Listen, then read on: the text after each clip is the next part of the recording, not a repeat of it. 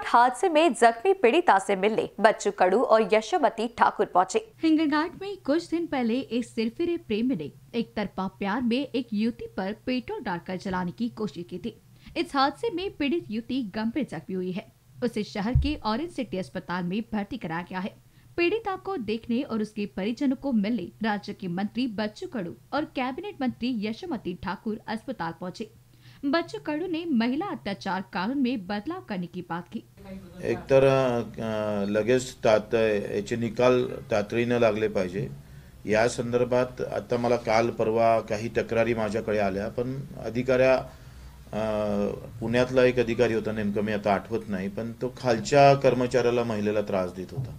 वरिष्ठ महिलेला तक्रार केल्यानंतर सुद्धा ते दखल घेत नाही. मला वाटते यासाठी सुद्धा अधिक नियम बदलणं त्याची जर वरिष्ठ अधिकाऱ्याला तक्रार दिली तर त्यांना लगेच पोलीस स्टेशनला संपर्क करणं ते होत नाही. या कायद्यामध्ये बरेच बदल करणं आवश्यक आहे. आणि जसं आता याच्या वडिलाला ते माहीत झालं होतं का हा छळ करतं म्हणून तीन महिन्यापूर्वी. तेव्हा कदाचित त्यांनाही वाटत नव्हतं का एवढा मोठा अटॅक ते करणार.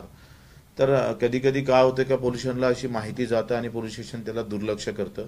ते होऊ नये. त्यासाठी काही वेगळ्या यंत्रणा उभ्या करता येईल का? तो प्रयत्न होईल.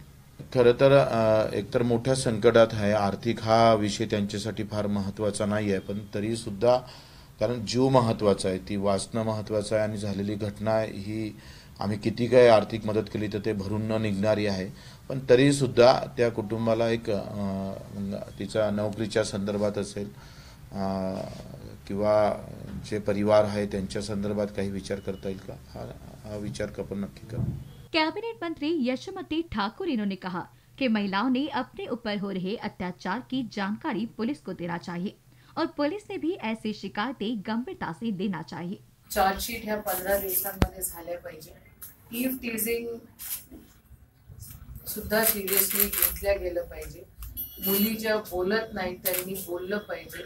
या लेकरांनी सुद्धा तिला त्रास होत होता. हे जर आपल्याला पहिलं कळलं असतं तर त्याच्यावर आपण वेगळ्या प्रकारे पावलं उचलू शकलो असतो.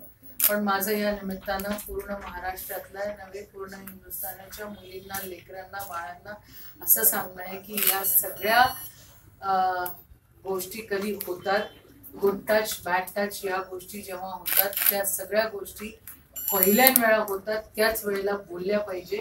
पोरी बोलत नाहीत आणि समाजामध्ये घाबरतात पोलिसांनी सुद्धा या सगळ्या गोष्टी खूप संवेदनशीलनं टॅकल करणं गरजेचं आहे.